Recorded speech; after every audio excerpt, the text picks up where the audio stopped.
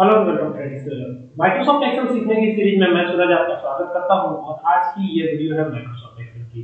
Excel में क्या नया है, क्या सिखाऊँगा आइए आपको बताता हूँ। यहाँ पर देख सकते हैं नेम ऑफ़ स्टूडेंट जो है, और यहाँ पर कुछ स्टूडेंट के मैंने नाम दिए हुए हैं, ठीक है? और यहाँ पर देख सकते हैं इनके मार्क्स हैं तो उनके मार्क्स के यहाँ पर टोटल किए गए हैं, ठीक है? ये टोटल है इनका।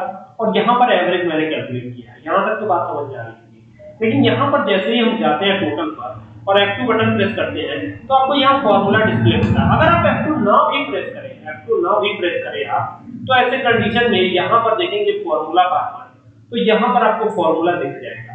तो हम ये चाहते हैं कि सिंपल वे में समझ लीजिए कि फॉर्मूला ही ना डिस्प्ले हो। तो क्या किया जा सकता है इसके लिए? इसके लिए आप पूरा डेटा कंट्रोल से सेलेक्ट कर लीजिए।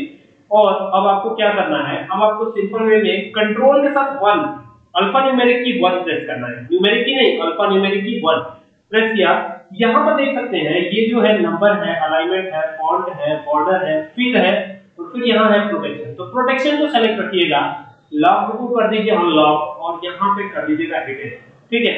तो आप देख सकते हैं, ये कंडीशन हो चुकी है, इस तरीके से ये आपको दिख रहा है। अब आपको क्या करना है? सिंपल वे में रिव्यू टैब पे जाना है।